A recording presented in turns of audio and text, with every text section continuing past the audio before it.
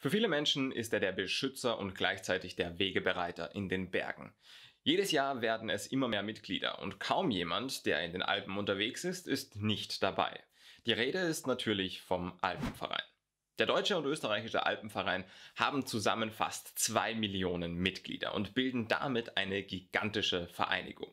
Dass diese Masse und deren Einfluss auch für Schattenseiten und das Interesse von Industrien genutzt werden kann, wissen nur die wenigsten.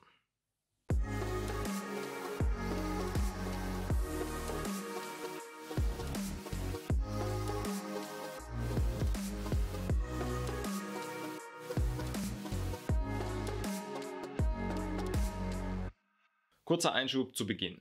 Dieses Video ist lang und enthält sehr viele Informationen. Alle Aussagen werden über diverse Quellen bewiesen. Diese findet ihr stets in der Videobeschreibung. Zum Ende des Videos gibt es von unserer Seite noch eine große Ankündigung zu einer riesigen Videoserie, die ab Sonntag startet. Mehr Infos dazu am Ende. Doch lasst jetzt loslegen mit der Wahrheit über den Alpenverein. Reden wir zuerst über die positiven Seiten des Alpenvereins. Sowohl der österreichische als auch der deutsche Alpenverein wurden beide in den 1860ern gegründet. Damit stehen sie schon seit Beginn des Alpinismus mit Kapital, Arbeitskraft und Planungsressourcen zur Verfügung. Großteils Freiwillige haben damals zusammen auf den stadt- und dorfnahen Bergen Wege errichtet, Gipfelkreuze aufgestellt und Schutzhütten gebaut. Diese Initiativen haben vielen Menschen ermöglicht, mit besseren Grundvoraussetzungen die Berge besteigen zu können.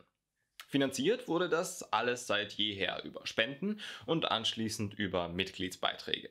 Die Vorteile für die Mitglieder waren neben der Ausstattung der Hütten auch günstigere Bergsteigeressen und Übernachtungen. Später haben die Alpenvereine sich auch abseits der Berge für den Naturschutz und auch für sportliche Betätigung eingesetzt. Kletterhallen sind unter anderem ein Hauptfaktor des Alpenvereins, abseits der Berge. Der Alpenverein fördert das Errichten neuer Kletter- und Boulderhallen und bringt sich dort auch mit Kursprogrammen ein. Apropos Kursprogramme. Der Alpenverein ist im deutschsprachigen Raum mit Abstand der größte Kursveranstalter im sportlichen Bereich. Die Kurse sind für Mitglieder meist erschwinglicher als andere kommerzielle Angebote und noch dazu sehr vielfältig. Egal ob Klettern, Hochtouren, Wanderungen, Klettersteige, der Alpenverein bietet allen was. Und das ist immer noch nicht alles. Die Alpenvereine, egal ob in Deutschland oder in Österreich, bieten auch viele geführte Touren und Projekte, die Funktionäre der Alpenvereine übernehmen, um den Mitgliedern weitere Mehrwerte bieten zu können. Für Mitglieder ist das teils kostenlos. Das Hauptprogramm des Alpenvereins ist und bleibt jedoch das Errichten von Wegen, Klettersteigen, teilweise auch das Bohren von Kletterrouten, Sanieren von Klettergärten, die Wartung bereits angelegter Wege, Steige und Routen. Außerdem unterstützten und unterstützen immer noch die Sektionen die Hütten beim Ausbau, Umbau und der Renovierung. Der Alpenverein unterstützt ebenfalls bei der Sicherheit in den Bergen, beschäftigt sich mit Lawinenkunde und Co. und informiert hier auch dementsprechend über richtiges Verhalten. Ein wichtiger Teil für den Alpenverein war schon immer der Naturschutz.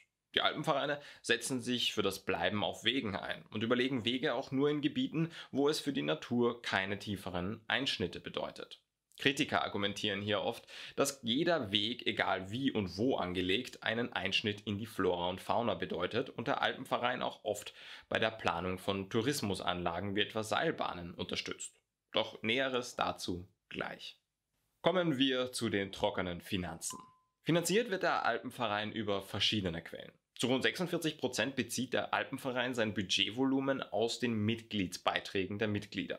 Aktuell sind das beim österreichischen Alpenverein 62 Euro. 12,5 Prozent des Budgets kommen aus öffentlicher Hand, also aus den Steuerbeiträgen aller Bürgerinnen und Bürger. Rund 11% kommen aus den Erträgen des Kursprogramms und der Rest aus Spenden, Verkäufen, Sponsoring und sonstigen Einnahmen.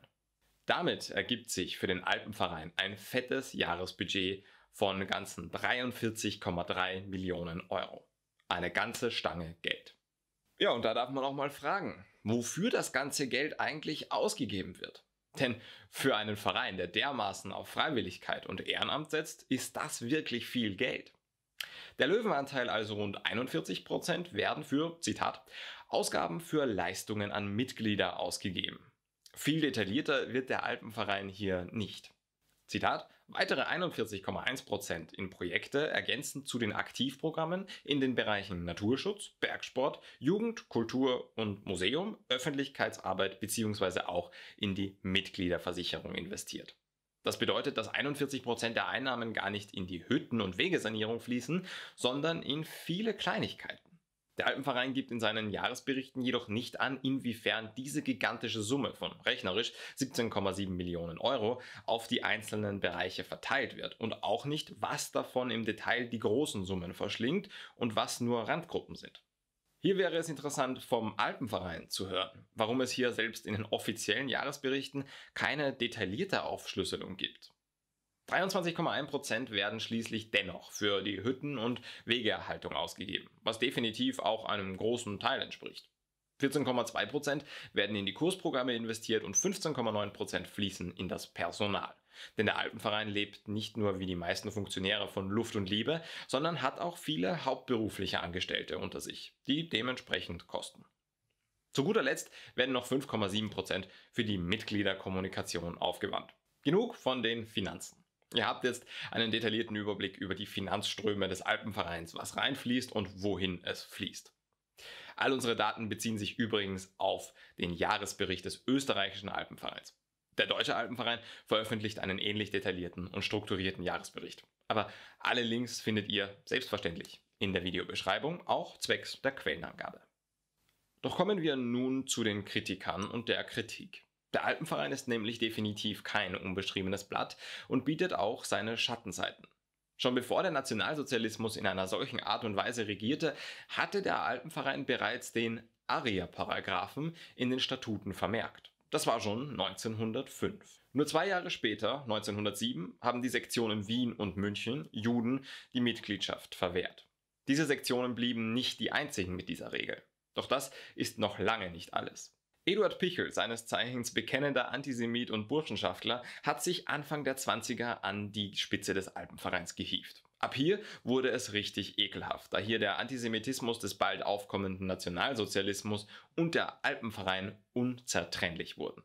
Doch noch im selben Jahr hat sich eine Gegenbewegung aktiv gemacht und eine eigene Sektion namens Sektion Donauland gegründet.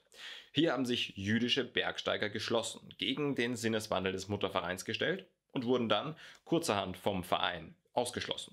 Juden waren nun gänzlich unerwünscht, wurden auf den Hütten nicht bewirtet und fast alle Sektionen übernahmen den Aria-Paragraphen.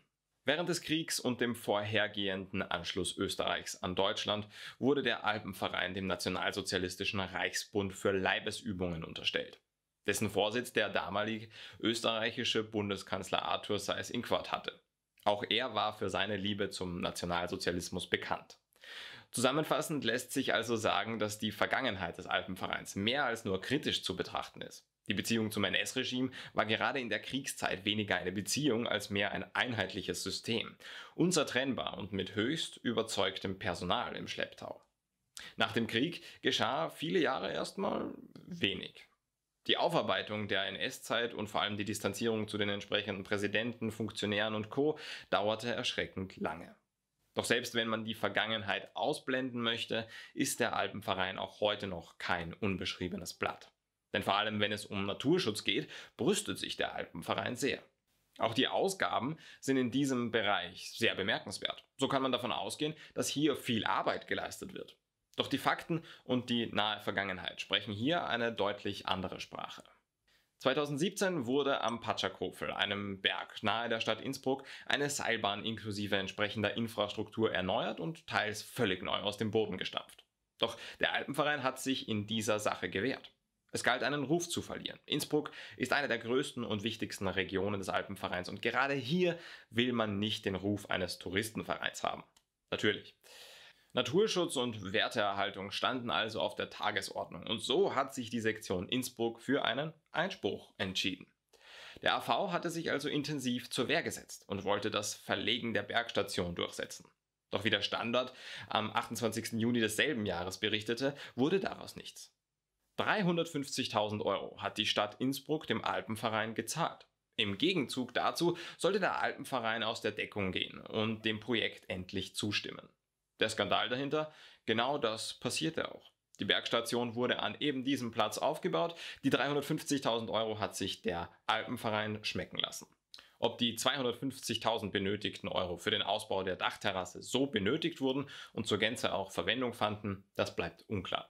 Kritiker sprechen hier von einer beschämenden Aktion seitens des Alpenvereins und bezeichnen ihn als erpressbar und korrupt.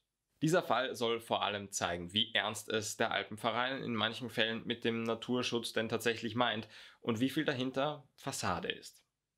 Natürlich ist der Alpenverein in anderen Bereichen beim Naturschutz strenger. Doch äh, dieses Beispiel zeigt die Elastizität der Moralvorstellungen seitens des Alpenvereins und der einzelnen Sektionen. Doch das ist nicht alles, was den Alpenverein in die Bredouille bringt. Bleiben wir doch gleich am Patschakofel als ideales Beispiel. Hier steht seit knapp 100 Jahren der Großteil der Schutzhütte. Die Vegetation um die Hütte ist sogar Teil wissenschaftlicher Arbeit. Die Aussicht ist außergewöhnlich und die Umgebung äußerst idyllisch. Der Inhaber der Hütte, die Tourismusclub-Sektion des Alpenvereins Innsbruck, hielt den Erhalt dieser äußerst historischen Hütte in dieser Form für weniger wichtig. Daher hat der Alpenverein kurzerhand beschlossen, die Hütte an ein Gastronomen- und Unternehmerduo zu verkaufen. Übrigens, Berichten der Tiroler Tageszeitung zufolge hat sich die Stadt Innsbruck dazu verpflichtet, 250.000 Euro für einen Ausbau der Terrasse zuzuschießen. 250.000 Euro? Das habe ich doch heute schon mal irgendwo erwähnt. Ja, genau. Denn die 250.000 Euro wurden laut Medienberichten für den Terrassenausbau bereits 2017 dem Alpenverein zugeschossen. Ebenfalls von der Stadt. Jetzt habe ich eine Frage an die Stadt Innsbruck. Wer hat jetzt eigentlich 250.000 Euro zu viel? Denn irgendjemand hat für den Ausbau der Terrasse bezahlen müssen. War es, waren es die beiden Unternehmer, die heute Besitzer des Schutzhauses sind? Oder war es doch noch der Alpenverein? Ein weiterer Kritikpunkt ist der Umgang mit Mitgliedern bei geführten Touren. Hier sind zwar nur ehrenamtliche Funktionäre am Werk, jedoch tragen diese trotzdem eine Verantwortung für die Teilnehmer bei ihren Touren. Im Jänner 2015 machte ein Shitstorm die Runde. Tourenführer des Alpenvereins waren in einer Gruppe von insgesamt 43 Personen bei Lawinenwarnstufe 3 in einem Hang unterwegs. Ein Schneebrett löste sich, letztlich verletzt wurde zum Glück keiner. Die Bilder davon verbreiteten sich gerade in den sozialen Medien wie ein Lauffeuer. Man könnte jetzt noch eine ganze Menge Beispiele für Fettnäpfchen und Probleme im Alpenverein anführen. Wie zum Beispiel die generelle Doppelmoral beim Thema Tourismus, wo auf der einen Seite immer mehr Touristen für die Hütten gebracht werden sollen und andererseits die Touristen, Tourismusindustrie im Bau von Infrastruktur vom AV kritisiert wird. Oder aber auch der mangelnde Einsatz beim Naturschutz, wenn es um den Bau von zusätzlichen Parkplätzen und der damit einhergehenden Abholzung ganzer Waldmassen geht. Links zu all diesen brisanten Themen ebenfalls in der Videobeschreibung. Außerdem, was hat es mit der ganzen Geschichte um Reinhold Messner auf sich? Er wurde damals 1970 vom Alpenverein scharf kritisiert und diffamiert. Und bis heute wird dem Ganzen Rufschädigung nachgesagt und Reinhold Messner hat mit dem Alpenverein bis heute nicht abgeschlossen. Die Vergangenheit des Alpenvereins ist ebenfalls ein großer Fleck im Geschichtsbuch. Doch der Alpenverein leistet mit der Hütten- und Wegesanierung auch viel Gutes und macht Bergsport in diesem Sinne teilweise erst möglich. Außerdem sind sie ein großer Kursanbieter und machen damit Sicherheit und Bildung zugänglicher. Mit der vergleichsweise günstigen Versicherung hat man ebenfalls viele Vorteile gesichert und im Notfall bekommt man dementsprechende Unterstützung. Ob ihr den Alpenverein nun als Fluch oder Segen betrachtet, bleibt letztlich euch überlassen. Dass der Alpenverein aber nicht die heilige Kuh ist, die oftmals verkauft und von vielen auch vertreten wird, sollte nach diesem Video aber auch offensichtlich sein. Wusstet ihr all diese Dinge über den Alpenverein? Und seid ihr Mitglied im Alpenverein? Habt ihr euch schon mal Gedanken über die Funktionen und vielleicht sogar mögliche Missstände im Alpenverein gemacht? Wenn euch das Video gefallen hat, würden wir uns über ein Abo auf dem Kanal freuen und einen Daumen hoch aufs Video. Für weitere Infos zur Alpen Academy schaut gerne auf alpenacademy.at. Eine kleine Ankündigung noch zum Schluss. Am Sonntag startet eine große Videoserie, die ein ganzes Jahr dauern wird. Einmal pro Woche werden wir euch die großen, bekannten und vielleicht auch eher unbekannten Legenden der Geschichte des Alpinismus vorstellen und ein entsprechendes Porträt präsentieren. Abonniert den Kanal, um auch in dieser Rubrik in Zukunft nichts mehr zu verpassen. Bis zum nächsten Mal wünschen wir euch wie immer eine schöne Zeit und Bergheil.